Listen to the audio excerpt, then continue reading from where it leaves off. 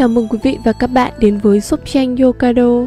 Hôm nay, shop tranh Yokado sẽ giới thiệu những dòng tranh phong thủy mang lại tài lộc dồi dào cho gia chủ. 1. Tranh tùng hạc diên niên. Trong tranh là cây tùng xanh mướt, mọc trên vách núi với dáng vẻ oai nghiêm, vươn mình tới trời xanh. Chim hạc trắng muốt, quây quần, thong rong dang rộng đôi cánh bay cao, bay xa đến tận những tầng mây trong tranh còn xuất hiện hình ảnh chú chim hạc thấp thoáng giữa những đám mây trắng mang đến ý nghĩa thiên tứ trường thọ, thay cho lời cầu chúc tuổi thọ, sự sáng suốt và cuộc sống vương giả.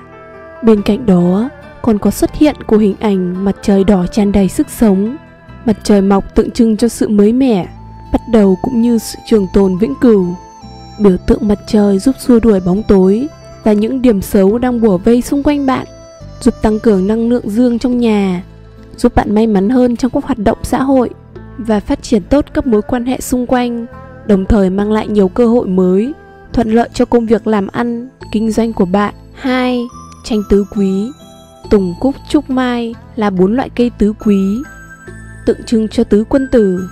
Trong phong thủy, ý nghĩa của tranh tứ quý đã vượt qua yếu tố cây cỏ, khí hậu mà hướng đến mong muốn của mọi người, bất kể sang hèn, đó là mong ước may mắn và tài lộc Người ta treo tranh tứ quý trong nhà Không chỉ để trang trí Mà còn để cầu mong may mắn Bình an, tài lộc. Những người lãnh đạo Có chức quyền thường treo bộ tranh tứ quý Tùng cúc trúc mai này Trong phòng làm việc Tượng trưng cho khí độ quân tử Sự ngay thẳng và chính trực. Đồng thời Treo bộ tranh tứ quý trong phòng làm việc Cũng góp phần tạo nên bầu không khí thư thái Thoải mái giúp gia chủ tìm được sự yên ả trong tâm hồn và đời sống tâm linh. 3. Tranh mã đáo thành công Mã đáo thành công là bức tranh gồm bầy ngựa có 8 chú ngựa khỏe khoắn đang phi về một hướng. Ngựa là con vật hết sức trung thành và gần gũi với con người. Nó là hình ảnh tượng trưng cho sự mạnh mẽ, bền bỉ và kiên nhẫn. Mã đáo thành công là biểu tượng mang đến tiền tài, may mắn, thăng tiến, thành đạt, giúp cho công việc thuận lợi và thành công cao. Mã đáo thành công như một lời chúc với những người đi làm ăn và công tác xa, tức là chúc chuyến đi thành công tốt đẹp. Ngoài ra, còn có ý nghĩa là tốc chiến tốc thắng. 4. Tranh thuận buồm xuôi gió Bức tranh thuận buồm xuôi gió với hình ảnh cánh buồm no gió, thường là buồm trắng, không chỉ có giá trị về mặt thẩm mỹ khi đem lại sức sống, làm sáng bừng căn phòng, mà về mặt phong thủy, nó còn giúp kích hoạt tài lộc tăng cường vận may cho chủ nhà, nhất là những doanh nhân, người làm nghề buôn bán. Các thương nhân thường treo tranh thuận buồm xuôi gió để cầu mong việc làm ăn được suôn sẻ, buôn may bán đắt. Những người làm ăn xa treo bức tranh này với ngụ ý những chuyến đi sẽ bình an, may mắn, có cơ hội làm ăn phát đạt. Ngoài phòng khách, bức tranh này cũng thường được đặt tại văn phòng công ty hoặc phòng làm việc tại gia. 5 tranh thêu cửu ngư quần hội.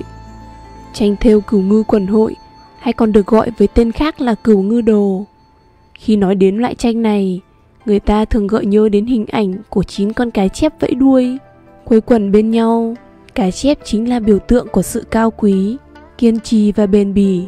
Thế nên, người dân việt nam thường có quan niệm cá chép mang đến cho gia chủ tài lộc, sức khỏe dồi dào. Trong khi đó, theo phong thủy Số 9 được xem là số đẹp nhất. Bên cạnh hoa sen, tranh cá chép còn được kết hợp với loài hoa mẫu đơn. Nét đẹp kiêu sa của hoa mẫu đơn chính là sự tượng trưng cho sự giàu có, phú quý. Bên trên, shop tranh Yokado đã giới thiệu những dòng tranh phong thủy mang lại tài lộc cho gia chủ. Để biết thêm thông tin chi tiết về tranh, quý vị vui lòng liên hệ theo Zalo 0822 567 555 hoặc để lại bình luận ở phía bên dưới. Cảm ơn quý vị và các bạn đã lắng nghe.